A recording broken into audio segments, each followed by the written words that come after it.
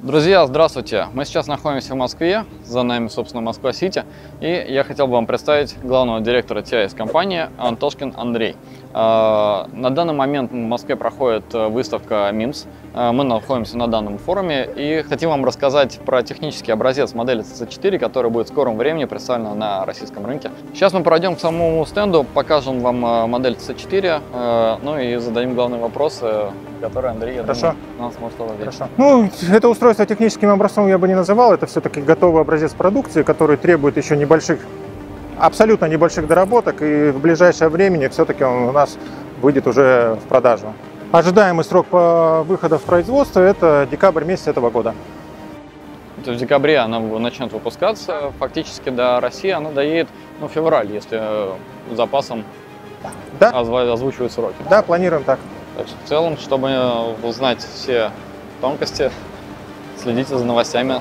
А, Андрей, подскажи, а цель вообще прохождения, э, ну, присутствия на выставке, что преследует TIS? Ну, в московской выставке мы уже участвуем третий раз. В принципе, каждый раз наша цель – это а, презентация новой продукции, привлечение ну, новых клиентов и встречи со старыми нашими клиентами. В данном, на данной выставке основная наша продукция – это новинка. Новинка является продукция C4. Конкретно на данных стендах представлена топовая его версия, версия C4 Pro. Друзья, честно, мы уже пощупали эту магнитолу, и это просто прорыв. Э, Мы знаем конкурентов на рынке, и поверьте, это будет просто пушка. Так, друзья, мы сейчас зашли на саму выставку MIMS и находимся на основном стенде TIS. Э, Могу подчеркнуть момент, что это первый павильон и прям первый стенд, который находится на выставке. У меня есть следующий вопрос. Расскажи, пожалуйста, какие отличительные прям характеристики есть э, с устройства CZ4 э, линейки Pro между CC3, нашей любимой? Ну, если касаемо аппаратного обеспечения технического, то в принципе отличается во всем. В первую очередь отличается в процессоре.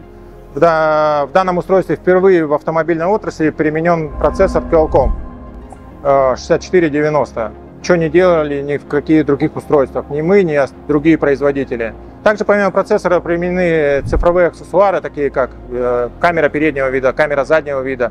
Также были э, раньше нарекания по качеству звука микрофона. В данном случае применен двойной, двойной микрофон э, с цифровой передачей данных. Если не секрет, какой модельный ряд будет представлен на 25 год, к чему нам готовиться? В 2025 году точно останется вся линейка CC3, линейка Magnetol Lux One, а также будет введена новая линейка, линейка устройств CC4. Что мне делать, например, сейчас как покупателю, если я хочу приобрести магнитолу? Есть ли смысл мне ждать модель CC4 или я могу приобрести модель CC3? Ну, никто не говорил, что CC3 это плохая модель, это сейчас флагман наших продаж, поэтому эта модель также хорошая. Но стоит понимать, что модель CC4, она потом будет в ценовом сегменте чуть дороже, чем модель CC3. Поэтому, если есть желание приобрести маг- магнитолу сейчас, именно здесь и сейчас, именно как подарок Новому году, либо просто вот по необходимости, то, конечно, стоит приобретать. И на носу у нас ноябрь, это будет 11-11, так что, в принципе, у кого на что готов карман. Я, я думаю, мы ответ получили э, и на ценовую политику в том числе. Так, мы сейчас подошли к стендам, э, и, честно говоря, вот прям с первого взгляда это вау. Андрей, можно в двух словах, что здесь нового, что добавили? Э, Для меня это все в новинку. Ну, в двух словах тут, честно скажу, не получится, потому что тут обновлено абсолютно все. Вплоть до того, что камеры 360 поддерживаются сейчас любым устройством. Тут не надо градация на 360 или на обычное. Оно сразу заложена поддержка уже внутри. Это цифровой двойной микрофон, то цифровые камеры. Переработанный интерфейс, это классический вариант интерфейса, есть вариант свободный. Все сделано для удобства водителей, разделение экрана, отделение на категории, э, привязка к Telegram-боту, через который мы можем также осуществлять, э, Отслеживать автомобили. отслеживать, да, следить за функциями автомобиля. Э, В произвольном режиме клиент может формировать абсолютно свой интерфейс, тот именно, который он захочет. Есть богатый выбор виджетов, обоев, цветовых гамм и все тому подобное.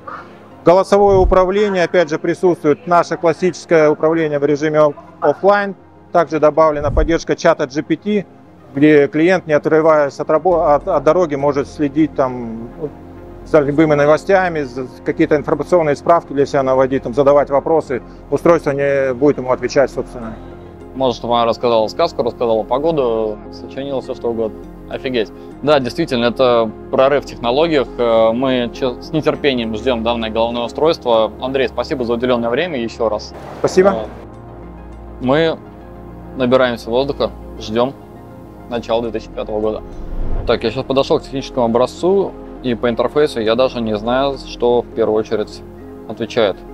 Э, очень необычное, что не передает видео, это тактильность. То есть при нажатии магнитола отдает маленькую вибрацию, то есть сюда сразу можно сказать, что добавили э, Active Touch, э, назовем это пока что так.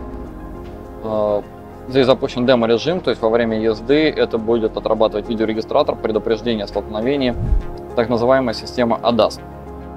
Справа вижу виджет погоды, прикольно. И виджет можно поменять датчики давления шинах вывел на правую сторону. И слева, да, слева у нас получается щелкается музыка.